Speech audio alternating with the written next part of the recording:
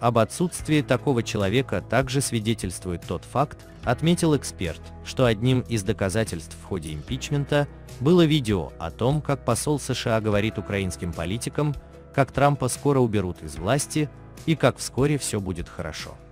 После того, как этот скандал вспыхнул, Зеленский, как бы он себя не вел, и что бы ни говорил, повел себя как слабый политик, не оказавший никакой поддержки Трампу в этой трудной ситуации, и теперь для него является сбитым летчиком, пояснил Данилин. Таким образом, подчеркнул политолог, президент Зеленский в глазах Трампа с потенциального партнера превратился в недоговороспособного и неадекватного политика. Слова спикера прозвучали в ходе пресс-конференции на тему «Трамп на коне, Украина на кону». Состоится ли большая сделка между США и Россией? в рамках спецпроекта «Украинское досье» издания «Украина.ру». Спасибо за внимание. Ставьте лайк и не забудьте подписаться на канал «Твои новости». Здесь всегда вас ждут самые горячие и свежие новости мира.